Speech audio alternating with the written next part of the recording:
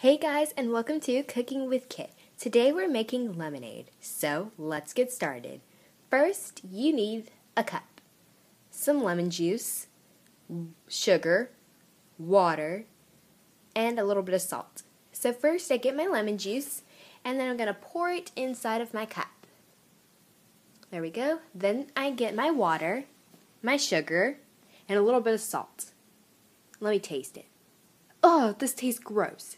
Do not try this at home, guys, okay?